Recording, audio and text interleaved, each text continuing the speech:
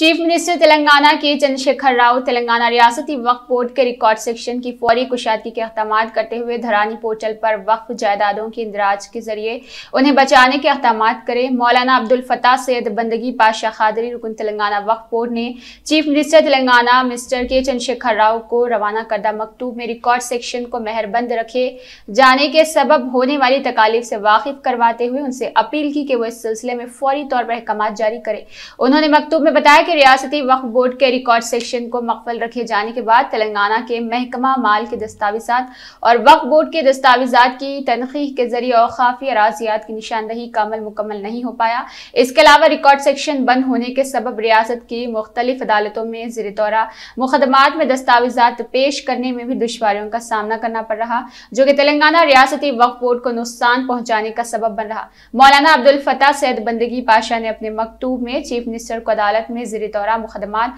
बिलखसूस महकमा जात सतह पर जारी मुकदमात को सूरत हाल से वाकफियत करवाते हुए कहा कि हुकूमत की जानब से वक्फ बोर्ड के रिकॉर्ड सेक्शन को मेहरबंद किए जाने पर कोई शुभात नहीं लेकिन 2018 में अब तक वक्फ बोर्ड के रिकॉर्ड सेक्शन को मेहरबंद रखे जाने के बाद अदालत में जिर दौरा मुकदमा में मुश्किल का सामना है औकाफ के अलावा रियासत के तमाम अराजियात को नजात से पाक बनाने के अकदाम के तहत धरानी पोर्टल का आगाज़ किया लेकिन धरानी में औकाफ अराजियात के रजिस्ट्रेशन को यकीनी बनाने के लिए महकमा माल के दस्तावेजात से वक्फ बोर्ड के दस्तावेजात को हम आहंग करने के अकदाम किए जा रहे हैं। वक्फ बोर्ड की तश्कील अमल में लाई गई, लेकिन रिकॉर्ड्स को बेहतर बनाने के अकदाम किए जाने हैं। उन्होंने बताया कि वक्फ सर्वे के दौरान ऐसी कई जायदादों की निशानदही अमल में लाई, जो कि इसके दर्ज है। हालाँकि राजियात औखाफी मौलाना अबुल फतेह सैद बंदगी पाशाह ने बताया कि निज़ाम दौर हुकूमत में औखाफी जायदादों, जो सरकारी इंतज़ाम थे, उन्हें सरकारी जमरा में शुमार किया जाता था, लेकिन इस लफ्ज़ सरकारी का अब जो तर्जमा किया जा रहा है, इसमें